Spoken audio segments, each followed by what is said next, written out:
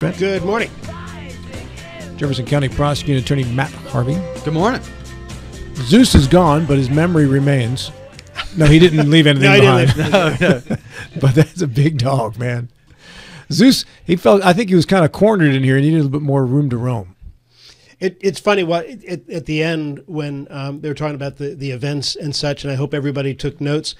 Zeus was in the back playing with his leash. I didn't hear a word that anybody said because Zeus wanted to eat that leash. he wanted to eat the leash. He wanted to. That's a lot of dog. It It's a lot of dog. and uh, and he doesn't like that leash. Sweet boy. Yeah, Nice dog. Sweet dog. Very nice.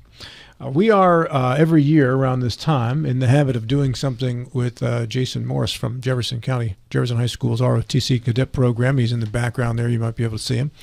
And they do a shoe drive, and the cadets uh, do a marvelous job with this uh, shoe drive and plus the other service they do in the community. And three of these cadets are in studio with us right now.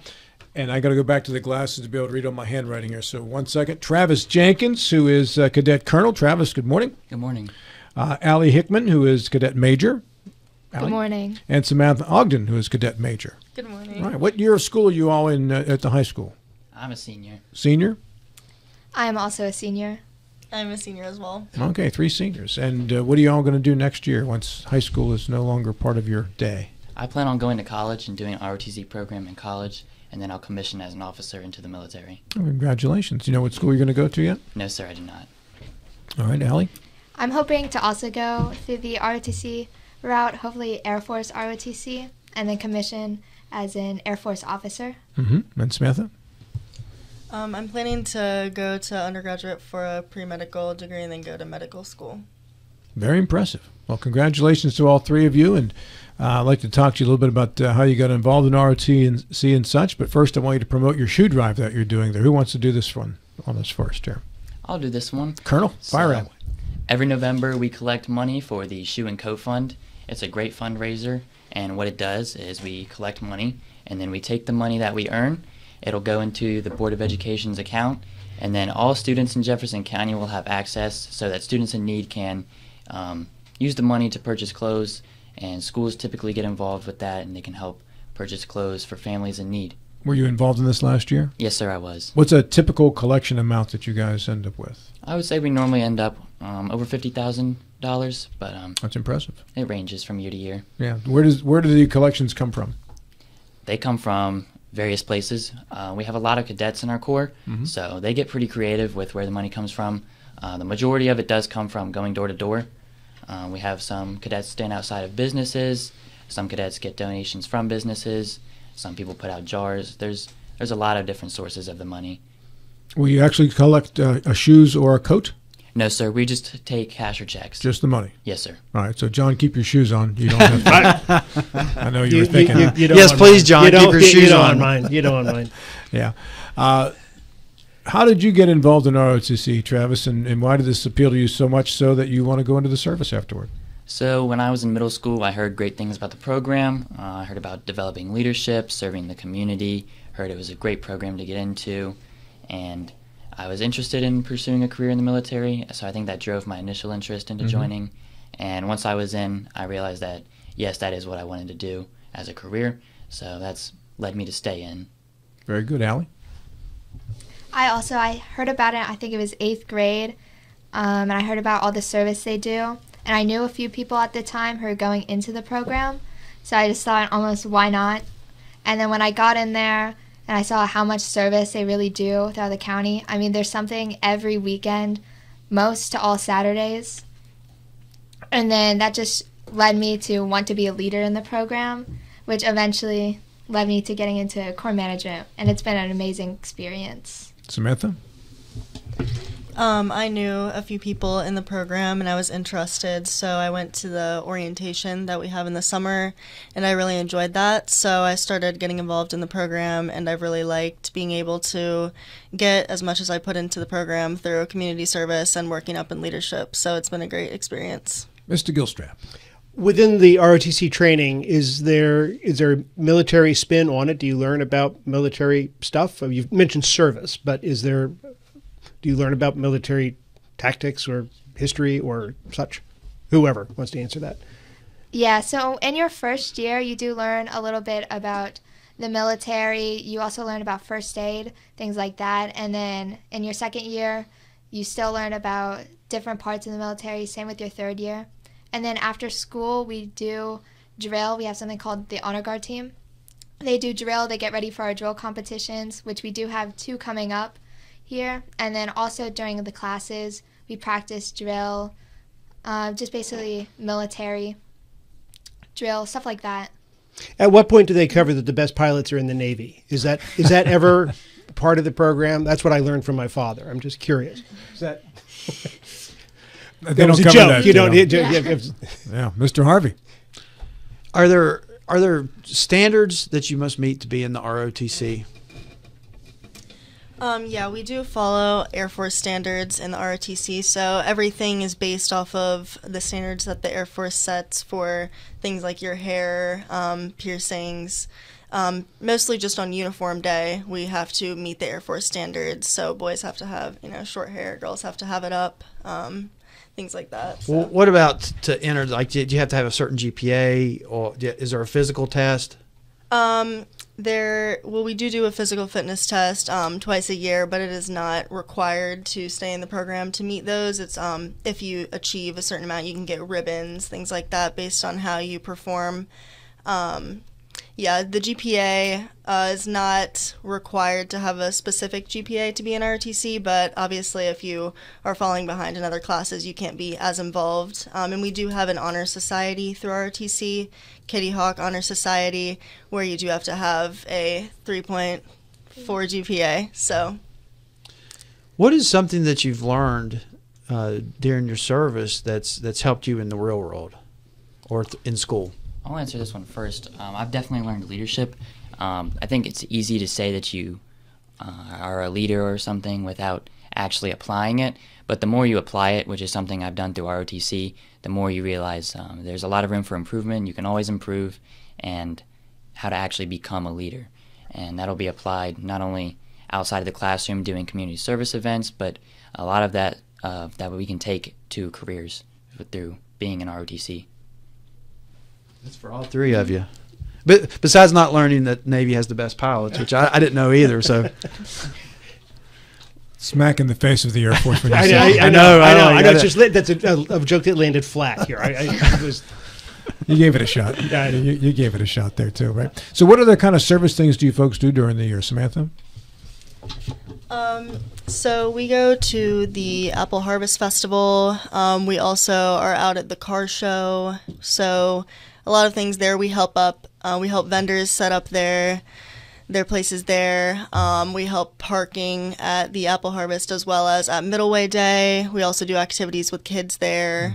Um, let's see. What other? That's a pretty good list. we do? Yeah, we do a lot of um, events. Pretty much something every weekend. We do things during Christmas, old time Christmas, um, in Harpers Ferry and areas like that. So, what do you what do you do when you go there? You help direct traffic, or you're parking cars, or what do you do? Um, it really depends. We do pretty much everything depending on the event. We park cars at some events. Sometimes we help kids. Um, at Old Time Christmas, we can make s'mores for the kids. That's one Oh. thing that we do. Um, so it really just it definitely varies based on what event we're at. you didn't bring any s'mores with you.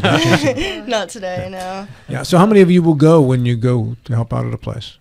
Um, we they usually give us a number of how much help they need, um, and then we'll base it off of that. So sometimes it's five, sometimes it's 30 cadets based off what we're doing. So How many of you are there? There are 200 cadets in our program right now. wow, Are they all Jefferson High School? Yes, sir. That's impressive. Do any of the other high schools have ROTC programs too? So no other high schools have the ROTC program. However, Jefferson and Washington share an ROTC program. So what that means is Jefferson hosts the ROTC program, and then Washington students that want to participate, obviously they don't go to Jefferson, so they can ride a transfer bus and still be involved in our program. And they'll take all of their classes at Jefferson, and it's still an opportunity for them. Do you? How many uh, Washington High students are with you? I don't know exactly how many. There's a good bit.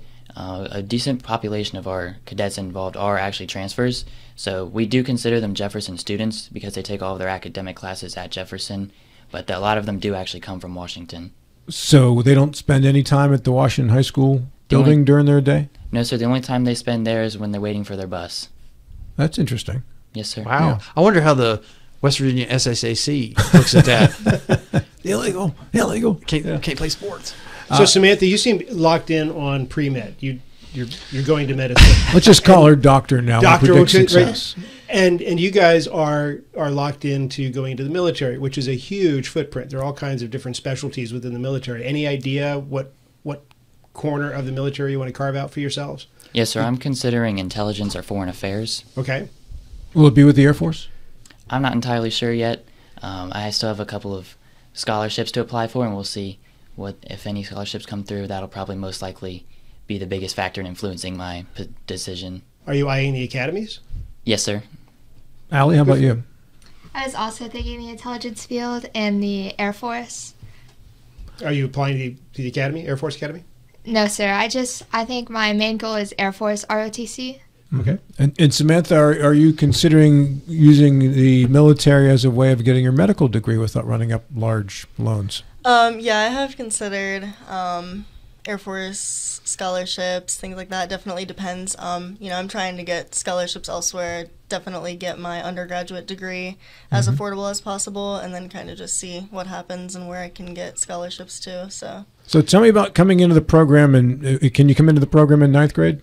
Yes, Is sir. the first year? So tell me about coming into the program the first year, and then now where you are as seniors. Travis, why don't you go ahead and go first? So first year you come in, uh, things are going to look a little different by the time you're a senior. When you come in, it's a lot of introductory uh, lessons and stuff like that. Uh, we- Introductory lessons about what? we teach you how to wear a uniform. We instruct you on. There's a lot more instruction when you're a first year. There's a lot more hands-on. We teach you. We show you how to do things so that by the time you're a senior, you can kind of lead those things. So we te- we aid a lot in uniform wear. Um, there's a lot of leniency on that compared to when you're a senior, and we do. In- so first years have more instruction based in the classroom. It's a little more from the beginning. So we teach them about the beginning of flight, um, how it started. There's just content on like the Wright brothers. So things from the very beginning. It starts a little bit further back, and then by the time you're a senior, you're learning things about like finances, things that you're going to apply in the real world. So it does progress. Practical stuff. Yes, so sir. you mentioned leniency. So there comes a time when there's not as much leniency. What What are the consequences for not uh, being appropriately dressed? So we do weekly uniform wear. We wear the uniform once a week. Um, normally we do it on Tuesdays. Sometimes that varies, but every week you get a uniform inspection, and you'll have one of your leaders of the program, and they will walk around. They will inspect each person's uniform, and then they get a grade for it. So if your uniform is incorrect, there's not really a punishment, but it does reflect in your grade. So you might not get an A, for instance. Yes, sir. So that that is a possibility. However, a lot of people do care about the uniform wear, so they will put effort in, and it's easy to do well because there's a lot of help available. Do most people in ROTC get an A or whatever the highest grade might be as it's assigned? Yes, sir. I think almost everyone gets an A because the people that are in the program, most of the time they want to be there, and mm-hmm. it reflects. Allie, have you ever gotten a B? No, I've had an A all four years in Air Force Junior ROTC. Come clean, Samantha. I have as well. He wouldn't have brought you if you if you were getting B's, right? Not. So is there academic credit for uh, JROTC? Is that a JROTC? Yes, sir. So you get credit as an elective, um, but you also get if you do ROTC for two years, you do it does count as a gym credit as well. So Okay. Now, how about if when you go on to the military, does it count toward time in service? Yes, sir. So if you plan on enlisting out of um, right out of high school and joining the military, there is a promotion involved, which does indeed mean a pay increase. So that Cool. is a great great opportunity for those interested in enlisting. So does it count toward the whatever it is, twenty years re- retirement time? Does that? No, sir. It doesn't count towards any um, service time, but it does. It like I said, it, do- it will allow you to get a promotion. Cool. We all like being promoted, right? Yeah. So, uh, as you leave, what advice do you leave behind for the kids who are behind you, and some of the ones that you've worked with? Well, now they're juniors, I guess. I think my biggest piece of advice is don't be afraid to try new things. Um, you learn through trying, and sometimes you're going to fail, but you learn more through the failure as long as you don't let it become something bigger than it is. You can learn a lot from it. Did you get a good education in the public school system in West Virginia, Travis? Yes, sir, I would say I did, but I have nothing to compare it to, but I would say that I did. I like that qualifier there, Allie. I would say one piece of advice, probably the biggest piece of advice, is kind of just savor it while it lasts. Mm-hmm. Because once you hit a se- senior and you're kind of the ones like leading, you kind of realize this is your last year doing it. And then next year, you're kind of starting all over. So definitely take it in while it lasts, especially junior year. Did you get a good education in the West Virginia public school system? I think so. It definitely gave me a lot of opportunities that I don't think I would have elsewhere. And some of the like best people I've met have been through the education system. Mm-hmm. Samantha? You better um, you better say yes, or your mom's going to kill you. Her, her mom's on the board of education. That's a lot of um, pressure. Yeah, I would definitely tell people just put in as much as you want to get out. So don't be afraid to get involved. Um, take time to do opportunities. You'll wish you got involved in more afterwards if you don't. Mm-hmm. So, you know, don't be afraid to try things that you never thought you would before and you might like it. Um, I think I did get a pretty good education through the system. Good answer, Doc. Uh, yeah. I like that. Yeah. Yeah. So, go ahead, Matt. Uh, so I have two questions. Like, how does I mean it's impressive I think to hear 200 members. Uh, that's great. How does that compare to other schools in West Virginia or the area? And then number two, are there colleges that are JROTC friendly? I'll answer this one. So, uh, as opposed as like compared to other schools in West Virginia, we have a very large unit. There's a lot of involvement from where we are in the state. Um, that answers that question. We are a pretty large unit compared to some other schools, and Are you the biggest, or do you know? we are the biggest in West Virginia. Yes, sir. Good. And then for colleges that are JROTC friendly, um, I would say a lot of colleges are because it looks great on an application because it shows that you've already applied. You have more skills than some people that didn't take JROTC. It's kind of like a, I guess you could call it more of a qualification. You're something that colleges can look at and they can see, well, this person did ROTC, so we know where they're kind of at. Do, do colleges have the same programs? They have ROTC, so we're a junior ROTC, so that's on the high school level. But yes, sir, a lot of the a lot of the principles are still the same. There was an ROTC program at Duquesne when I was there. Uh, a friend of mine on my dorm floor uh, got involved in it because they they would do uh, on what the first week of school they would do rappelling down the buildings, which you know if you're like 18, you at that looks pretty cool. As a 60 year old, I would never do that now, but back then that looked pretty cool. And he got involved in it, ended up making a career out of the army. Uh, did some heroic work in Afghanistan and uh, finished his career in the Pentagon, all because he took a chance, right? Yes, sir. You never know until you put yourself out there, right? Yes, sir. Yeah. What's the hardest part of the program? Not everybody goes from. Some people are going to drop out, and when you talk to the people who have dropped out of the program, what typically is is the hard part for them? Tying a tie the first time. So, Yeah, definitely. Um, uniform standards definitely take part in it. Some people don't want to cut their hair. Um, Okay. They don't like to wear the uniform, but it's really not weird. I mean, there's since there are so many people, you're always going to have someone in your class, but um, you know, not everybody wants to have short hair and try to keep this maintained. well, your hair's not that short. so- It's not like you had a buzz Yeah. cut or anything. Yeah, girls, they only we only have to have it up, but a lot of guys they want to have long hair, and so it doesn't appeal to them. But I'd like to have long hair too, but that train passed about 20 years ago. Yeah. yeah. So, uh, anyway, we are in studio with uh, uh, Colonel, uh, I'd say Trav, Colonel Travis Jenkins here, and also. Uh, then the, the next two are majors, right? Uh, So, uh, Allie Hickman and Samantha Ogden both are majors. Is Colonel the top ranking you can get in junior ROTC, or can you go above Colonel, Travis? No, sir. Colonel's the top rank you can get. Are there various stages of being a colonel? No, Like sir. Lieutenant colonel and colonel? Is it just There, colonel? there is a lieutenant colonel, but once you, it's our our rank system is based a lot on position. Mhm. So we have leaders in the program, and those leaders will have ranks that reflect their positions.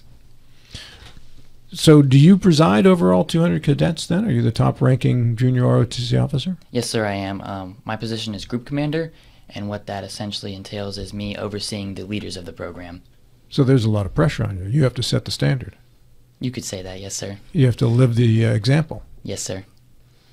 If you, when you start your day in the morning, do you ever think to yourself, this is a lot of pressure? How am I going to handle this? There's been that thought a time or two. Because you you know you're in high school, you know, it's one thing to be 40 years old in charge of two or 300 people, but you're a teenager. You're in charge of 200 people. Yes, sir. Am I making you nervous? No, sir. All right, good job. You- You can handle a career in the military then.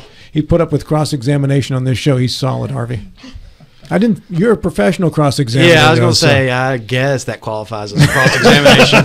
well, he is a teenager. Right? All right, very good. Okay, excuse me. We got about a minute left. Uh, the shoe and, shoe and coat drive again. Uh, hit that up so we can uh, uh, let people know how they can help. Um, yeah, donation uh, is available through cash or checks. Um, checks can be payable to Jefferson High School. Um, if you have any questions about the Shoe and Coat Fund, you can contact Jefferson High School at 304 725 8491. And tonight we are also doing a spirit night at Chick fil A where part of the proceeds will be going to the Shoe and Coat Fund. So anybody who Smart. orders through the mobile app tonight from 5 to 8 will be helping the Shoe and Coat Fund. All the local Chick Fil A's are Um, that is the Ranson location of Chick fil A. So. Ranson Chick Fil A. All right, so give yourselves a grade for how you did here today. As your final grade of this uh, radio station show here. Go ahead, Travis. What'd you give? I think I would give it an A. It was a great experience, and I appreciate you guys having us out here. I would agree. Allie. I would say an A plus. Oh, Maybe some stop. extra Whoa. credit too. Oh yeah, I give you extra credit there. Absolutely, that's a good idea. no, they didn't bring any treats, so no extra credit. Samantha, what do you say? Yeah, I would say an A. I think we covered covered a great amount of things. So yeah. You agree, Jason? He's got the A. He's got the A. We're back with the final minute next.